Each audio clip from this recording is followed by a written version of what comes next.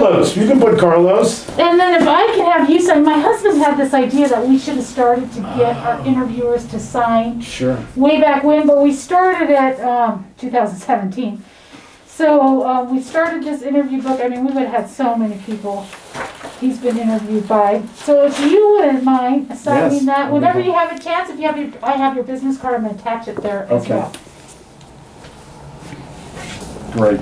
Do you Sign. want it, do you want to date it? Yes, you want to date it, or if you wanted to put us. Will you date it? And today is April The 27th. twenty-seventh. Twenty-seventh. April 27th, Dad.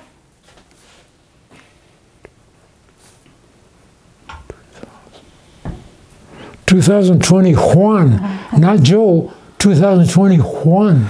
not, not Joe or Augustine or Charles or Tony. My brothers.